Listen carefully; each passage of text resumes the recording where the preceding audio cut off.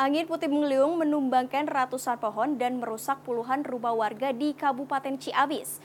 Sementara di Cirebon, cuaca buruk dalam tiga hari terakhir mengakibatkan ribuan rumah dan ratusan hektar sawah terendam, serta puluhan pohon tumbang akibat angin kencang.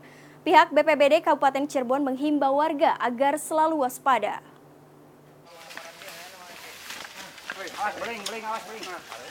Angin puting beliung menerjang pemukiman warga di Desa Pamokolan, Kecamatan Ciaurbeti, Kabupaten Ciamis.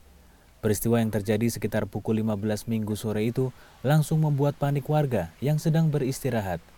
Angin kencang yang berputar disertai hujan lebat itu menerbangkan genting rumah warga. setengah tiga, tahu-tahu gerimis, gerimis datang angin besar. Angin besar, dia berputar. Berputar angin. Berputar, akhirnya datang angin agak kencang dari sebelah ke barat. Berapa menit itu Pak kira-kira Pak? Perkiraan ya tiga menitan Tiga yang menit ya, merasa ya goyang.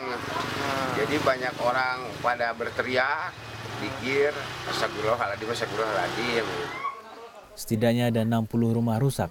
Enam di antaranya rusak parah di bagian atap akibat tertimpa pohon. Rumah dengan puting beliung itu cukup banyak, tapi yang parah itu cuma hanya enam rumah. Enam rumah? Iya enam rumah yang parah. Apalagi yang ini yang tertimpa pohon ini eh, cukup berat lah, cukup parah. Eh, untuk taksiran material kerugian ya kurang lebih lah 150 juta. Angin kencang juga menyebabkan ratusan pohon besar tumbang serta beberapa tiang listrik roboh. Petugas BPBD dan warga kemudian bergotong royong menyingkirkan pohon yang menimpa rumah warga. Tidak ada korban jiwa dalam peristiwa ini, namun kerugian materi diperkirakan mencapai ratusan juta rupiah. Sementara itu cuaca buruk yang menerjang wilayah Kabupaten Cirebon dalam tiga hari terakhir mengakibatkan ribuan rumah warga di enam kecamatan terendam banjir.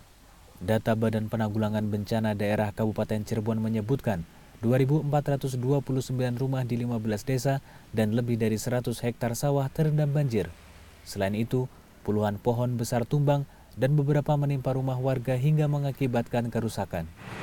kami dari BBD menurunkan beberapa tim ya untuk ke lokasi-lokasi eh, di antaranya kami sudah memberikan bantuan logistik. Kalau kita lihat dari peringatan BMKG bahwa eh, untuk sampai tanggal 16 ini mungkin menjelang Imlek hujan akan banyak eh, turun deras. BPBD menghimbau agar masyarakat selalu waspada dengan kondisi cuaca buruk yang beberapa hari ke depan diperkirakan masih akan terjadi, di antaranya hujan dan angin kencang.